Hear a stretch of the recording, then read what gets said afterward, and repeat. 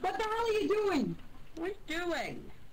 You're gonna get a ban request for that. Yep, I was recording, bro. IDM. Oh, this is the guy that shot people and t- tased them for no reason. Yeah.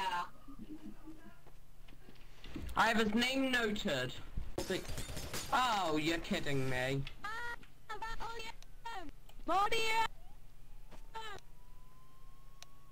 IDM. I'll leave the entrance. Yeah. Wait.